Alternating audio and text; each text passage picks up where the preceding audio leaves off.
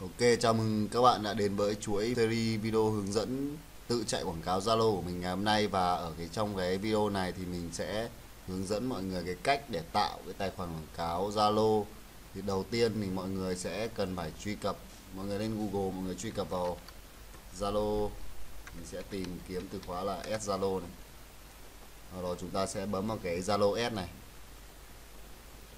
và để tạo được tài khoản quảng cáo thì chúng ta sẽ bấm vào cái phần là bắt đầu với Zalo S này. Ai mà chưa có tài khoản thì hãy tạo tài khoản cũng như là có thể là đăng nhập vào tài khoản mới nếu mà ừ, đăng nhập vào tài khoản nếu mà đã có tài khoản Zalo nhé ở đây thì mình sẽ quét với mã QR. Đó. quét với mã QR này. Trên điện thoại, mở điện thoại ra quét rồi bấm đăng nhập là được thôi. Nó ở đây thì nó sẽ yêu cầu chúng ta xác nhận cái thông tin của chúng ta. Thì chúng ta là doanh nghiệp hay là cá nhân thì chúng ta có thể lựa chọn ở đây. Chúng ta sẽ nhập email vào. Như mình đây là hoàng mọi cây.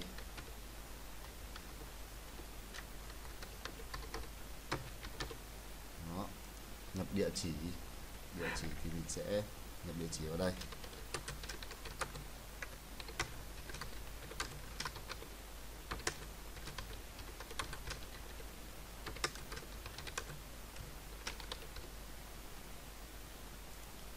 Chọn này. Đó. chúng ta có thể chọn ở đây ch- chọn bất kỳ uh, cái ai bạn mà biết đến um, Zalo S qua đâu thì bạn phải chọn đây. Nó không quá là rắc rối đâu. Ok đây là những cái thỏa thuận sử dụng tài khoản của Zalo này. Thì mọi người có thể là đọc thêm ở dưới này.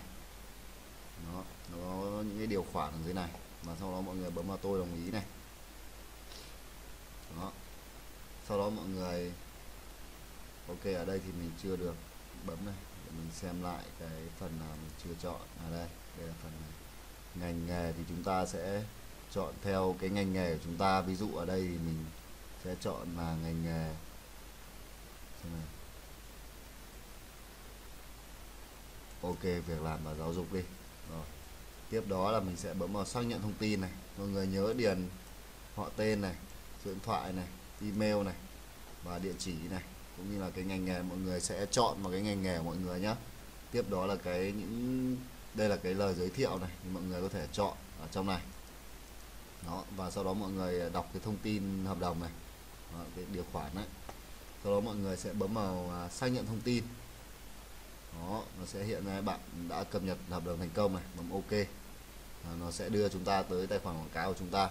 Và để quảng cáo được thì chúng ta sẽ cần phải nạp tiền vào đây đó, chúng ta sẽ bấm vào nạp tiền này.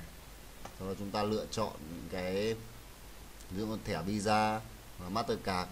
Đó, hoặc là chúng ta có thể lựa chọn cái hình thức chuyển khoản này. Hoặc là nạp bằng mã voucher voucher này. Đó.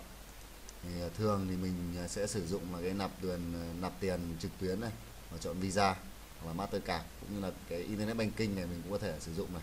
Đó, mọi người có thể nạp tiền vào phần nạp tiền này thì nó cũng đơn giản thôi thì à, mình cũng sẽ thử test nhé test 50.000 vào trong này luôn nhé ok bấm vào Vietcombank này. Sau đó là bấm tiếp theo này.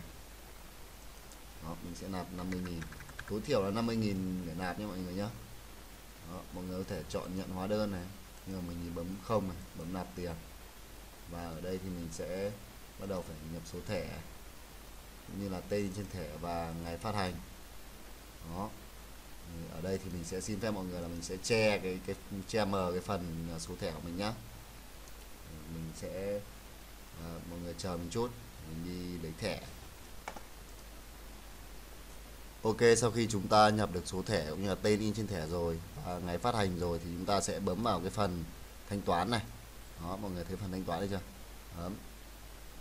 Chờ một chút là nó sẽ xử lý yêu cầu của chúng ta.